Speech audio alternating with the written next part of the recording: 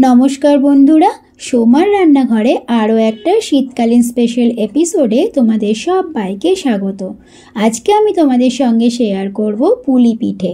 পুলি পিঠে তো অনেক রকমেরই হয়, তবে আজকে আমি তোমাদের সঙ্গে যেটা শেয়ার করব সেটা হলো ভাজা পুলি পিঠে।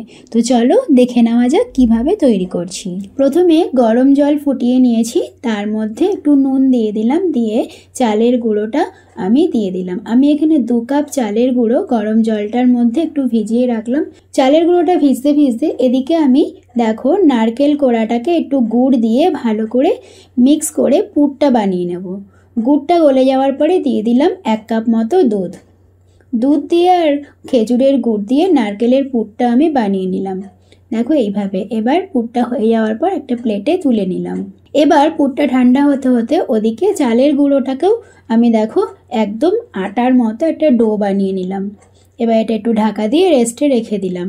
পনেরো মিনিট মতো রেস্টে রাখার পর তারপরে চালের গুঁড়োটাকে এইভাবে লেচি কেটে নিয়ে সেটাকে দেখো আমি বেলে নেব।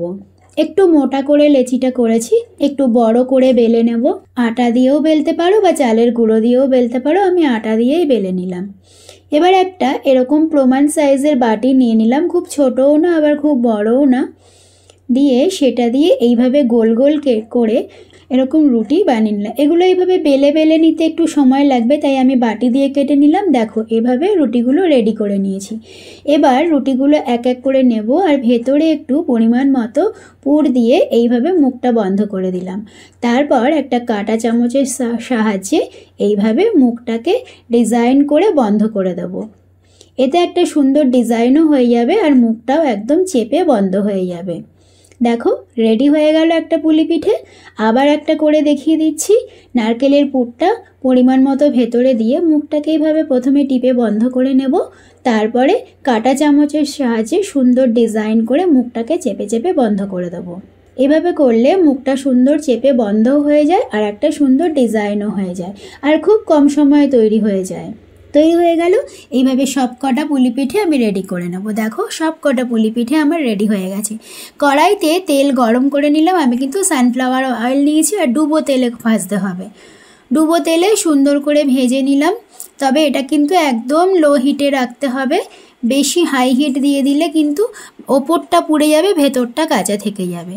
দেখো, এইভাবে পিঠেগুলো সব ব্রাউন ব্রাউন করে আমি ভেজে নিলাম। বাদামি রং হয়ে গেলে তারপরে এগুলো তুলে নেব তেল থেকে। এটা কিন্তু আরেক রকম করেও বানানো যায়। এই ভাজাটাকেও কিন্তু আমরা নলেন গুড়ের মানে নতুন খেজুরের গুড়ের যেটা ঝোলা গুড়, যেটা রস টাইপের গুড়, সেটা দিয়ে খেতে পারি। প্লাস আবার এইটাকে দেখো, এইভাবে আমি পাটালি গুড়, যেটা খেজুরের পাটালি গুড় হয়, সেটা জলের মধ্যে দিয়ে এইভাবে ভালো করে ফুটিয়ে একটা শিরা তৈরি করে নিয়ে, তার মধ্যেও কিন্তু আমি পুলি পিঠেগুলোকে ভিজিয়ে রসের পিঠে বানিয়ে নিতে পারি। এই দেখো।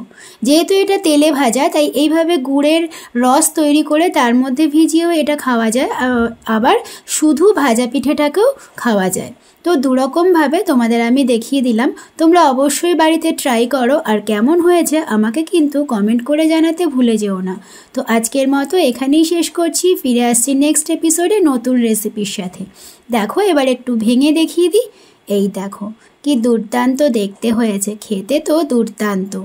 আমাদের তো দারুণ লেগেছে। তোমরা বাড়িতে সবাই ট্রাই করে কিন্তু জানিও কেমন হয়েছে।